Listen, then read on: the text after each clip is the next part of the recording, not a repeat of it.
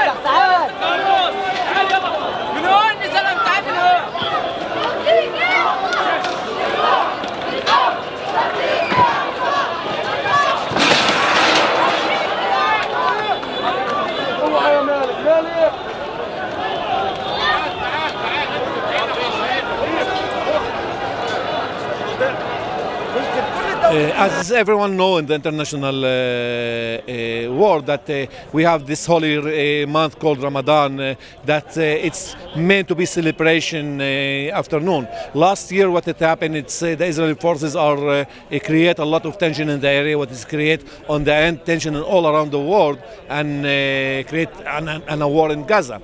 Today the Israeli right wing Ben Gvir is an Israeli member, member Knesset member uh, tried to bring his own uh, uh, followers to Damascus Gate to create a provocation for the Palestinians. what is happening right now, Israel is not allowing him to arrive, and at the same time Palestinians are presenting on the, on the Damascus Gate for not allowing the Israel provocation to be here in Jerusalem.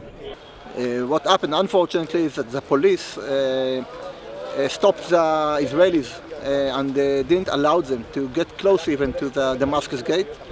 Imagine uh, in England, in, the, in London, an area will be forbidden just for Jews to enter to a specific area. imagine in, in Paris, the capital of France, an area that will be restricted, no entrance just for Jews because they are Jews.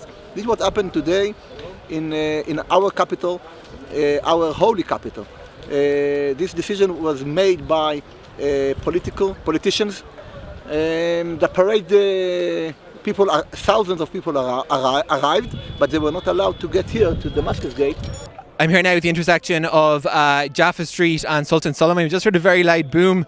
Not exactly clear what that was. In any event, um, this is where the police are keeping. You can see the Israeli flag behind me. These are basically the right-wing elements. This is as far as they were allowed to go.